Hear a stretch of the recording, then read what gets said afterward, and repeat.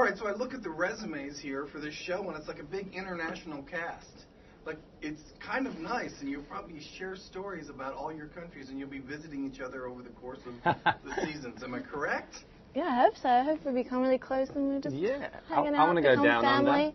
under. Down under, a little bit of sunshine. to sunshine. Australia, that's what I mean. I know. Yeah, just making it clear. Okay, very good.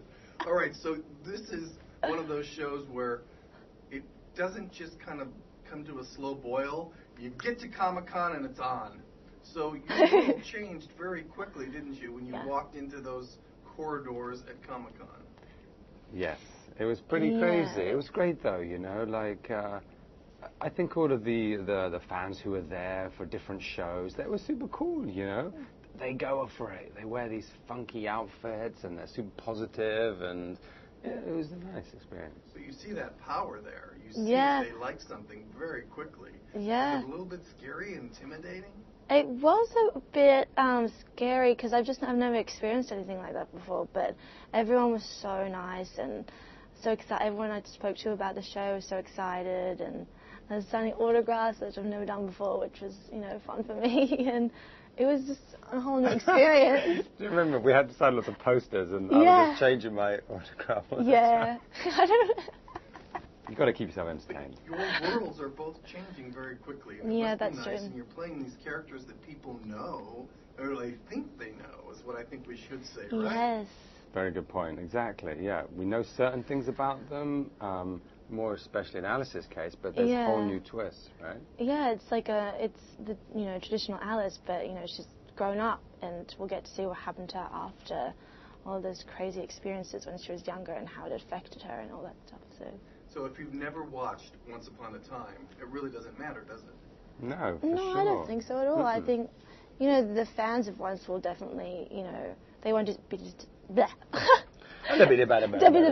That's her. Um, so basically, she's yeah. auditioning for Star Wars. That's the what, the language Jabba the Hutt Yeah. speaks. Ah, blah blah blah blah. what I what I was saying is um, they won't be disappointed, and if you're not a fan of Once, you can just jump in and you know follow the story of Alice in Wonderland, which is cool. So tell me about your costumes. Okay.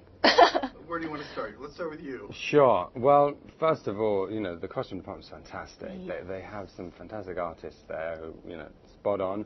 Um, my costume, it's a mix of different elements. It has that slight kind of, uh, you know, Arabian, like bejeweled uh, element, but Bejeweled. also it's got like a, a kind of very modern fitted uh, pants with a, a little bit of yeah leather, but swashbuckling, because you know he's very much a kind of uh, timeless action hero in a sense, you know. And what about you? Well, yeah, I have um, in the flashback scenes, I had this you know amazing um, purple puffy dress. It's kind of like traditional Alice, which I love. I love dresses like that. I've always wanted to do a character where I get to wear something like that. So I love wearing that dress.